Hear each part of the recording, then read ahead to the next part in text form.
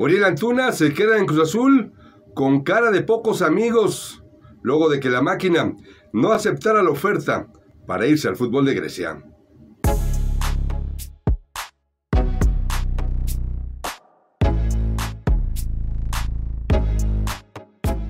En las entrañas de la máquina celeste de la Cruz Azul, para nadie es un secreto que Uriel Antuna ya no quiere seguir en el equipo. Por eso es que habría acercado vía su representante ofertas para poder emigrar, sobre todo al fútbol europeo. Una de las ofertas que habría presentado su representante estaba relacionada con el fútbol de Grecia, con el conjunto del Panathinaikos, que, hasta donde se tiene entendido, no llegó a las pretensiones que tenía la directiva de Cruz Azul para poder cerrar la operación. Esta situación, sin duda alguna, va a generar un malestar todavía mayor en el jugador que fuera mundialista en Qatar 2022 con la selección mexicana. Él ya no quiere estar con Cruz Azul, así lo ha hecho sentir, lo ha hecho saber a la directiva y a gente cercana a lo que es eh, los puestos importantes en Cruz Azul. Uriel Antuna no está a gusto en Cruz Azul, por eso es que buscaba que se aceptara la oferta del conjunto griego. Se estima al interior de Cruz Azul que las próximas semanas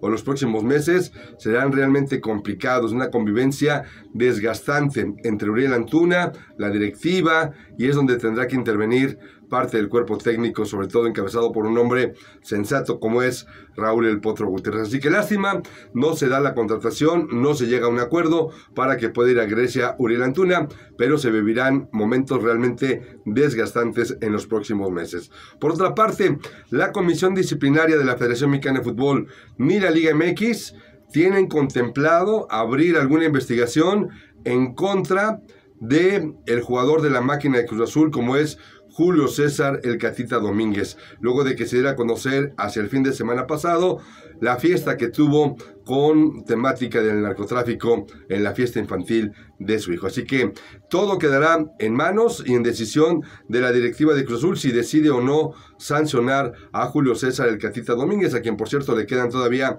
seis meses más de contrato con el equipo capitalino. Pero no intervendrá ni la comisión disciplinaria ni la Liga MX al considerar que se trata de un evento privado, la fiesta que le organizó con temática del narcotráfico a su hijo Julio César El Catita Domínguez. Así que no le aplicarán el código de ética al veterano jugador de la máquina. Por otra parte, y para cerrar, para todos aquellos que pensaban que estaba en duda la continuidad de la actual administración de la Federación Mexicana de Fútbol luego del fracaso en Qatar 2022, todo indica que no, que será la actual presidencia de la federación quien se encargue de revisar el reporte del Tata Martino y es la cual está haciendo también el análisis de lo que sucedió en Qatar 2022 y obviamente será la misma actual administración la que se encargue de buscar y contratar al próximo técnico del tricolor. Por cierto, hasta hasta el momento no han hablado con nadie.